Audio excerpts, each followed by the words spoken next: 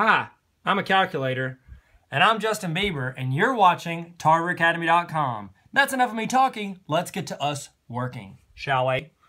Okay, so we're looking at multiplying polynomials. All right, you got 2r minus 4 times 7r squared minus 6r minus 6. So pause the video, try to work it, and then we'll work it together. Go. Good. I'm sure you got it right. Let's look and check and see if you did. Okay. When you're multiplying polynomials, the best way to do it is to keep things organized. That's actually the key to any math problem. But we're going to talk about it in this math problem. What I do is I find the, you've got two monomials here. You got 2r and then minus 4. And as you know, every monomial is separated by subtraction or addition sign. And so we've got two monomials here, and then we got one, two, three monomials there. I like to pick the one that has the least amount, which would be ding, ding, ding, ding, ding, this one, okay? So what you want to do is you want to focus on one of these polynomial or one of these monomials. I'm going to go with 2r. And so all we're going to do is we're going to stay organized and we're going to multiply this times all three of these. All right, just like you know from just regular math, like 8 parentheses 2 means 8 times 2, okay? So you're going to keep that in mind as you multiply these times these, okay? And the best way to do it is to break these apart, multiply those, and then multiply those, all right? Let's go through it. I like to draw it out so I don't miss anything. Boom, 2r times 7r squared. When you multiply monomials, you've got your numbers who can multiply together. 2 times 7 is 14. And then we multiply our r's. Now it's different with the r's because we don't know what r is. That's why we put a letter of the alphabet in its place. So the easy thing to do is when you multiply an exponent, I'm sorry, not exponent, but a variable times variables, you're really just going up in exponents. Because right here, that's r squared. So that's like saying r times r, correct? Well, if I'm multiplying another r, what does that become? r to the third. Okay, that's the math reason of why we do it. Here's the easy reason. Whenever you multiply variables, you just go up you're adding. When you multiply variables, you just add that exponent, okay? So it's just like if you divide a variables, you subtract, but we're not doing that. So that would be r to the third. All right, now I want to go to the next one. Don't for not, don't for not, don't forget to take that sign with it. So we've got 2 times negative 6r. So 2 times negative 6 is negative 12. And then r times r is r squared. All right, and then the last one, 2 times negative 6 is negative 12.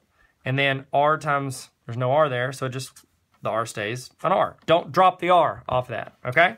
Now, I've got half of my problem. Now I need to do the same thing with negative 4. So negative 4 times 7 is negative 28.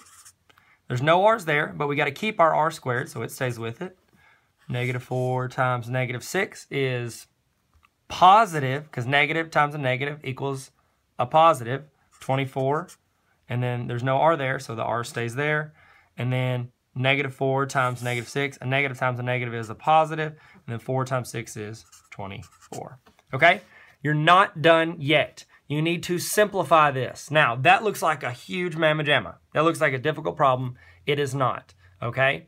I'm going to show you how to break it down and simplify it in the correct form and just do it as easy as possible so don't miss anything. The key is not to miss anything or leave any signs out, okay? So I'm to start with my highest exponent, okay? We want to find our variable with the highest exponents. So looks like there's r to the third. Circle it.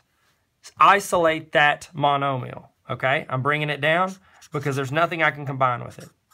And then I'm marking it out, okay? Because I don't need it anymore. I'm on this line.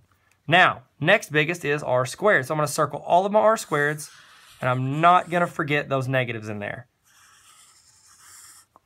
And that's it. Now I'm just doing regular math. Negative 12 minus 28. So it's going to be a bigger negative. I've already dug down 12 feet, and I'm going to dig 28 more. Okay? So it's going to be negative 40. And then my r squareds, you're not multiplying them, so you're not going to increase them. They're going to stay r squared. Okay? Mark this out. That's where a lot of kids mess up too. They'll like cancel out the r squares. Don't. You're messing with the numbers. Adding, subtracting things with variables, you're just going to mess with the numbers. All right, next is our r, so that's negative 12r plus 24r. Okay, so I've got a bigger positive than I have a negative. So my number's going to be positive, and it's negative 12 plus 24, which is essentially taking away 12. So you're only left with 12, and that r stays there. Cancel that out, and then I'm left with my regular number, which I believe is called a constant. Um, and that's it. We can't simplify any further. You're not going to solve for r here because you have no equal sign. All right. Our goal was to simplify this polynomial. Awesome. Thank you guys so much for watching. If you could, oh, what's that? I wrote that. Oops, gross. All right. I want you to check out tarveracademy.com. And if you could, tell somebody, please. Thanks again and have a baller day.